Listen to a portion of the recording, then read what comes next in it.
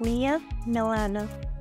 Mia is popular as an American adult actress, Instagram star, OnlyFans star, and model from Seattle, Washington State. As an entertainer, she started her career at the young age of 18 years old to enter the adult industry as well as a social media influencer. She doesn't say much about her personal life to the media or in any interviews. We have no information on her boyfriend, husband, or previous relationships. She is presumably single. In real life, she desires to remain anonymous. Mia started her career when she grew up at the age of 18. At that age, she decided to enter the adult film industry. After that, in August 2018, she began her acting career with the title of the TV series Vixen High Life. Her stunning performance led her to acting roles from various other production companies. For these reasons, she got a good opportunity to work with leading companies and alongside the most famous actors in the adult film industry. At the same time, she also got an offer to do work related to modeling.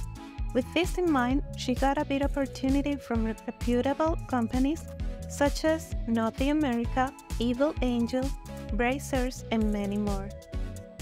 In addition, Mia also increased her popularity by creating social media accounts on various platforms like Instagram, TikTok, and Twitter. The first time she created a Twitter account in 2018 to greet her fans. Later, she created a YouTube channel called Mia TV which started in 2019.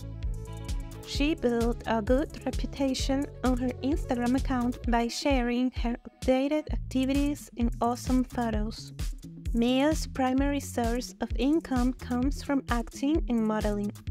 The net worth of Mia is estimated to be approximately $1.5 million. Mia has a lot of sponsors who also pay her for partnerships in advertisements. She enjoys cooking a lot. She is not married or engaged. Her favorite actor is Danny D.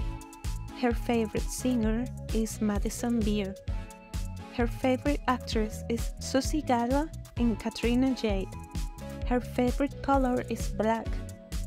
Her hobbies are traveling. She also smokes and drinks alcohol. Before working in the acting industry, she also worked as a waitress. When she was in high school, she was very shy and quiet.